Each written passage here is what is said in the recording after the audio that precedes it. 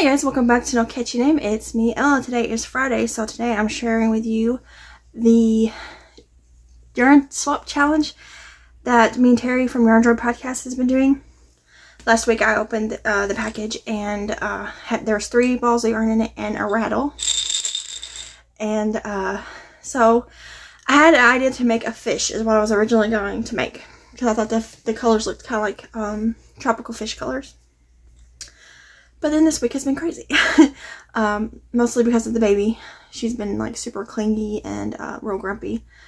I don't know if it's like growth spurt or teething or just a mixture of all kinds of things. but, um, so I didn't really, I haven't done any crochet at all, all week, I'm pretty sure, until today. So today I knew it was Friday and I knew I needed to get this video going so that I could open today's package and, you know, and get ready for next week. So, uh, luckily today was also Devin's first day of like Christmas vacation from work. So he's helped me with the kids today so that I could um, crochet. So I didn't I didn't think I had enough time to do the fish that I wanted to do. So I um, decided to do something similar to a fish. I guess I don't I guess it's a fish. I don't know. uh, but uh, it's from the same book because the fish pattern I wanted to do was from Olive of Stringy Ding Ding's book. Um, Plenty of Fish Under the Sea, I believe it's called. Um, I forgot to bring it in here. It's in the living room. but I was going to do the fish on there that's just called fish. And then, uh, because I didn't think I had enough time to make it today, because it's kind of turned out a bigger amigurumi. Um, and even, I started it. I got the first part of it done. and I was just afraid I wasn't going to have enough time between doing house stuff, you know, and life stuff. Um, so I pulled it out. I was even using, I was using worsted weight uh, yarn and a C-hook, which is a 2 point something millimeter, 275 maybe. Um, but I ripped it out and then I went ahead and started this one. So I made the jellyfish from her book because I knew from previous experience of making it that it was smaller and that it would come out faster. So I made the jellyfish with uh, the G-hook, which is, I used a 4 millimeter G-hook. And I did use all three colors. So here's my jellyfish. so I used um, the teal color for the body and the other two colors for the tentacle thingies that jellyfish have. I don't know what they're called. I did do these different though. I did follow Olive's pattern for this top part. Uh, and there's a, the rattles in there.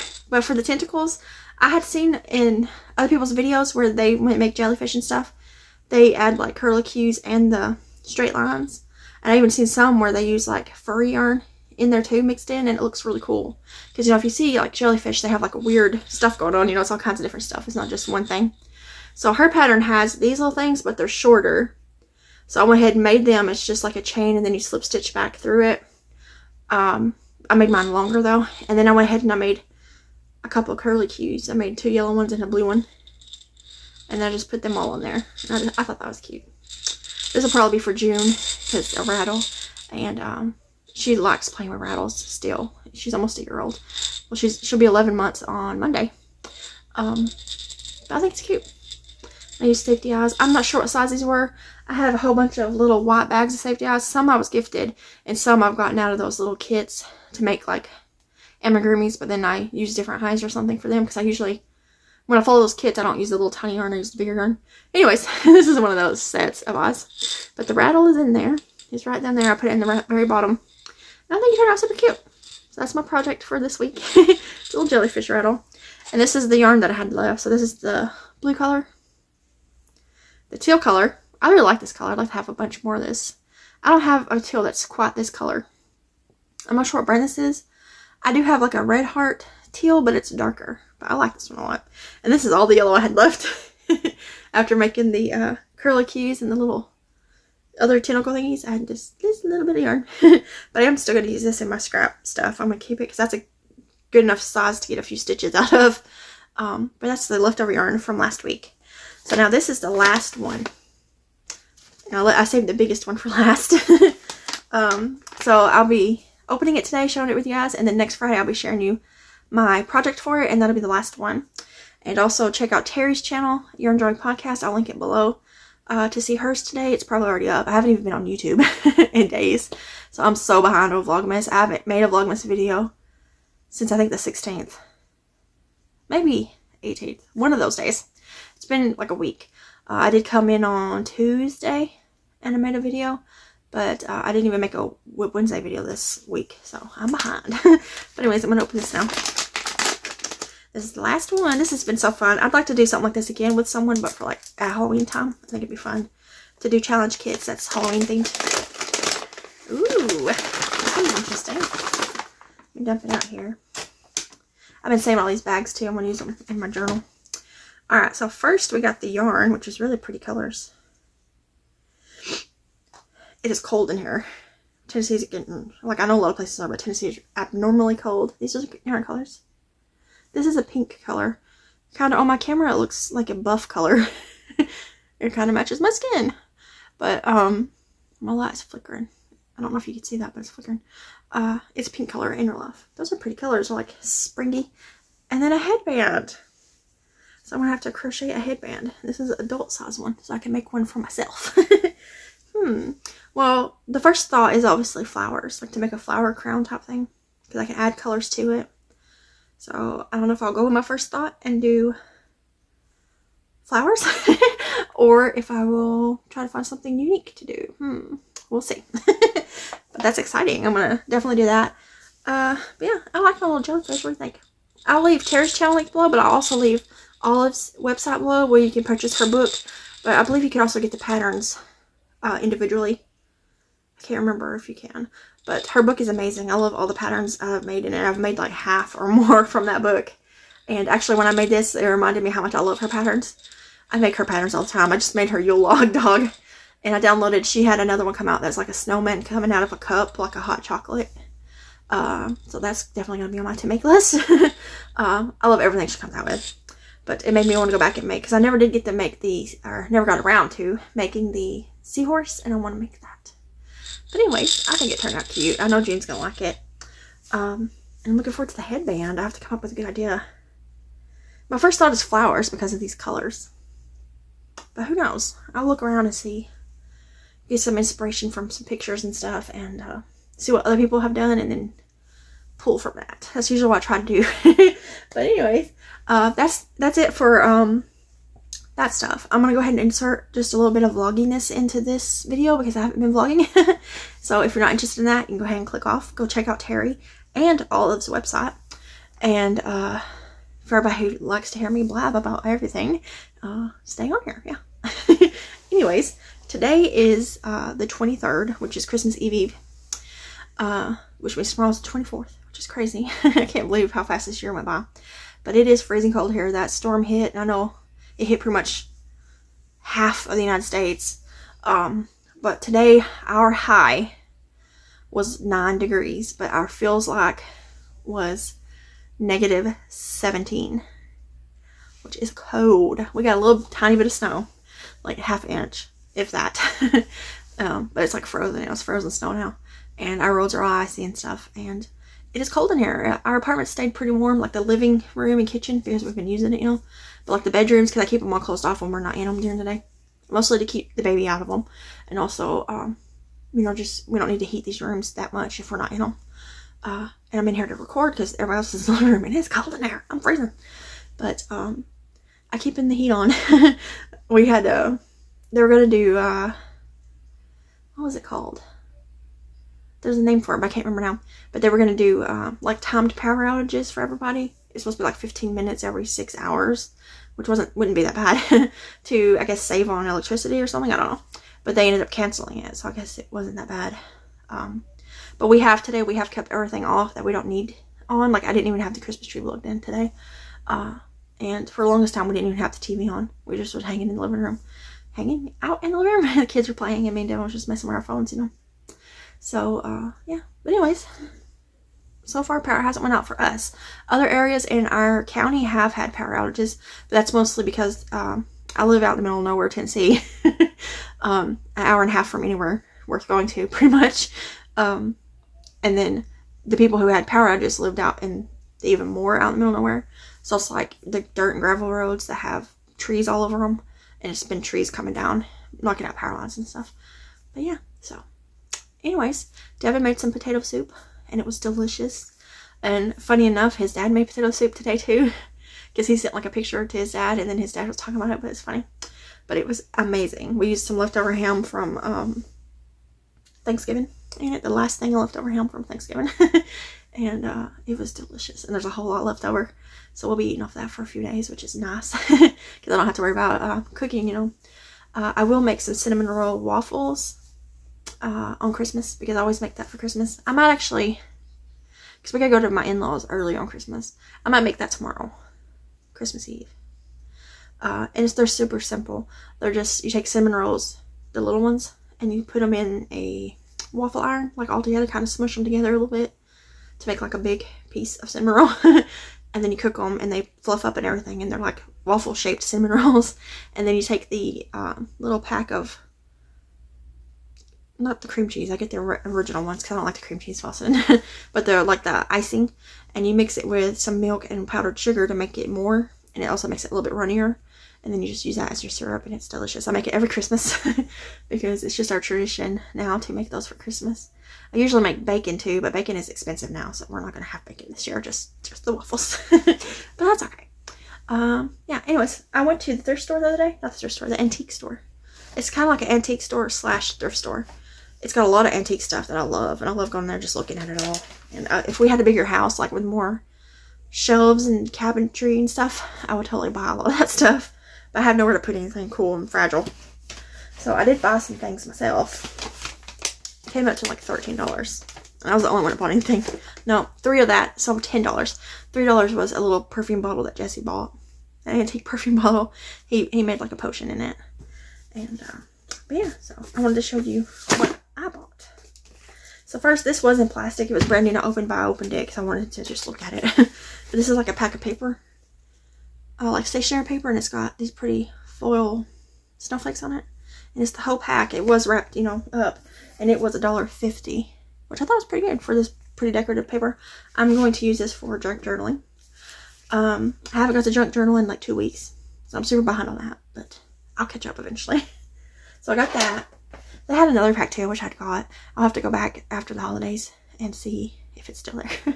my favorite thing to look at for in, in that particular store. It's called um, Antique Treasures, I think. And it's set up, it's one of those where it's like a bunch of booths that people rent and then they sell their stuff out of it, you know? So a lot of it is antiques, really cool stuff. Some of it is really not cool stuff because this is the South. So Southern antiques, some of them are racist.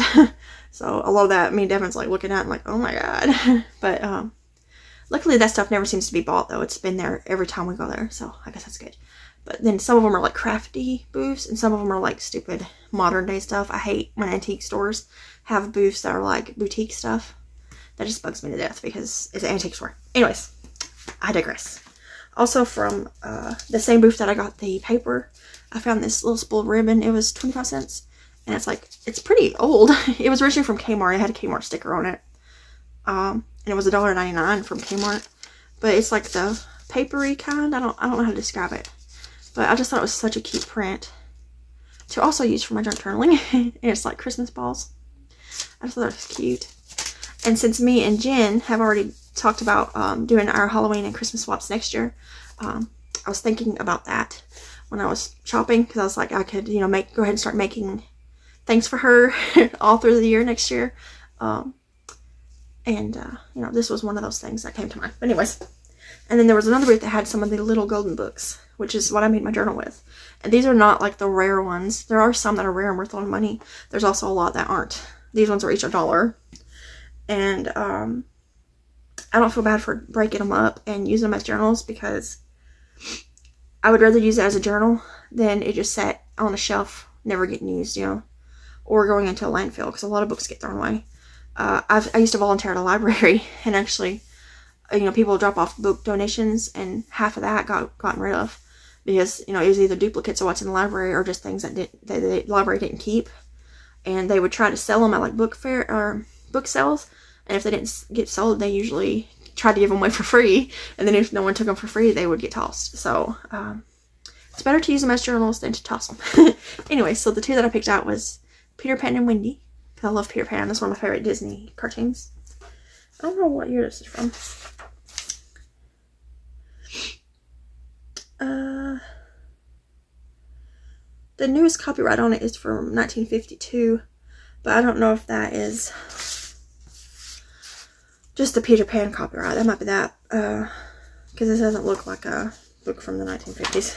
See here. Yeah, the back thing doesn't have any. I don't know, but it's cute and I like it. And it's just like the Peter Pan story, the original one. And when I do make a journal of this, I will use the paper too. I use the pages too as part of the journal. So I thought that was just adorable. And then I got my favorite one. my favorite Disney movie has always been Beauty and the Beast. And my favorite part and her outfit and all that is when they're outside playing in the snow. And I found a Beauty and the Beast that is that scene. but it is just the regular Beauty and the Beast story. But it's got the winter scene on the front, which I love because that's like my, I love that outfit she's wearing. I've always wanted a cloak like that. and I just love that part. It's so cute. You know, it's when they're falling in love. Uh, let's just forget about the part that he's a monster at that time.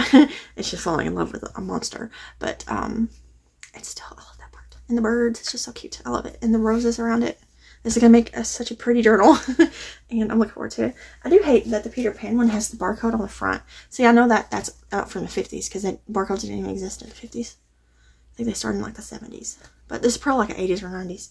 This one has a, a description on it. It's from a Christmas uh, 1993. And it says from two-year-old class. So this is probably from like a daycare or a church or something. Uh, where they gifted each kid a little book or something. But I cannot wait to make this a journal. I'll probably do this one first before the Peter Pan one. Because I just, I love this. I love this book. It's so beautiful. um, and then the last thing I got, I got this because I thought this was the whole thing. But when I got home, I found out that there's like a base that you also need. So I have to try to find that. And they don't sell it anymore. So I have to either find it like on eBay or just get lucky and find it. So I'm just going to save this. I'm going to put it up somewhere and save it so that I can use it eventually. But it's the Martha Stewart Crafts and it is a doily punch cartridge. It's the cart cartridge, cartridge, am I saying that right? For the main press thing, and it makes a snowflake shaped doily. I was so excited when I got this because I was like, I can make those for junk journals and Happy Mail and stuff. But you, you have to, see this is what it came with. And then this part goes into a base and then you like stamp it down. And I don't know if there's a way I can use it without the base. Um, so I have to get the base to use this if anyone has one that they don't want, I will gladly take it or buy it from you. But it was $5 and I was super excited because I was like, oh, I can make snowflake doilies and decorate, you know, instead of cutting out paper snowflakes, we could just press them out. but um, I did not know that. After I did research when I got home, I was like, dang it, but I'm just going to save it. And um, I'm sure I'll get a hold of it. I've seen them on eBay. Uh, people sell them for like $20. Uh, so I might just have to try to buy one or something. I don't know. But there are different uh, packs of these that you can get with that's different shaped doilies, which I thought was pretty cool. But anyways, I'm still happy I got it because I can use it eventually. And then the next thing I'm going to blab about is the Christmas card my sister sent me. uh, I do have more Christmas cards, but they're at the post office. I haven't went to pick them up, and I probably won't until after Christmas because of the weather. But I won't mind. I'll still love them. And they'll probably hang up for a long time because last year I left mine up until like February, I think. Because I just like looking at them. But uh, this is the one my sister gave me. And it's so cute because he looks vintage. So this will definitely be going in my drink journal at some point. I will probably still work on my Christmas drink journal all year because there's a lot of pages in it. I put a lot of paper in it. Um, so I'll, I'll, just, I love Christmas. So I can just add to it throughout the year and then um, have it, you know, to use whenever I want to. But also that's so cute. So I had to share it with you guys. And then uh, also I'm going to open up two of these. This is yesterday's and today's because I didn't do that. And then I have one more left for tomorrow and then the bigger one on Sunday. So this first one is called Rudolph the Red-Nosed Reindeer.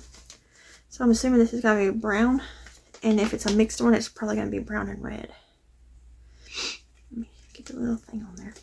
So there's a little tag. I already took it off. And there's the image. Oh, also at that antique store, there was bins of stamps. I wanted to get them so bad, but I don't really, I don't really need to, but I might go back and get some. Uh, and I'd have to get some ink pads. I was kind of digging through them. And the, the little, the guy that runs the um, antique store, he owns it. He, he kept walking past me because when we went in there, it was empty. And then like a few minutes later, there was like all kinds of people in there. So he was walking around like, you know, talking to people. And he kept, he every time he passed me, he's like, do you want a basket? And I was like, no, I'm good. And then I kept adding stuff to my pad, my stack. And then after a while, I was like, I probably should have took a basket. I will next time. Okay, so it's brown so far. So is there another color in there? There he is. There is red. I wonder if there's anything beyond the red. Now I still have a ton of her balls. That sounds weird. I still have a ton of her scrap balls. Um, I had wanted to use them as I got them, and I did a pretty good job in the beginning doing that, but just life, you know. So I have a whole bunch of them. I do have them separate right now from my other scrap balls, and I do plan on using them up. So I will use them. I just, things went crazy. Alright, so the next one, today's is called Ugly Christmas Sweater. It says Merry Christmas. what is tomorrow? So we don't have to go anywhere tomorrow unless we run to maybe the store if we need to get something. I mean, it's Christmas Eve. I think we're gonna let our, the kids open their presents tomorrow uh, from us, and then they can open the ones from Santa when he comes. Uh, and then we'll go over to my in-laws tomorrow, or Sunday morning we did my family Christmas. We did it on Thursday because of the weather coming. And my sister lives after a really dangerous mountainy spot that we all had to go through. but um, we had a lot of fun. Ooh. It is the glitter one. I don't know if it's the same one I have. It looks like it. If it is, it's it's the I love the shine one. Uh, glitter, which is always perfect. You can always use that. Okay, so that is my um, Scrabbles. Let me pull these envelopes up. Alright, so like I said, I haven't been able to crochet much except today. And I made that jellyfish. And I started working on another doll outfit for June. And it is the birthday one. It's the one that won the um, poll that I, I ran, I guess. And I started it today. So this is Red Heart Super Saver Light Blue, I think is what it's called because June's birthday is in January, which is like the peak of winter here. That's usually when we get our snow is like the end of January, early February. And her birthday is the 26th of January. So um, for her birthday outfit, I'm making it blue and all the the pink parts, if I can think I'll pop up a picture, I'm going to make white. And then the hat, I'm just going to be blue and white. And then I might get some snowflake buttons or something, felt pieces to glue on it. because her birthday, I'm to take the winter theme and just run with it for years until she's old enough to choose her own theme. and I hope she likes Frozen, because uh, then we can do Frozen themed birthdays parties, which would be so cute. But her first one is to be Winter Wonderland. She's not to get this then. She's only to be one.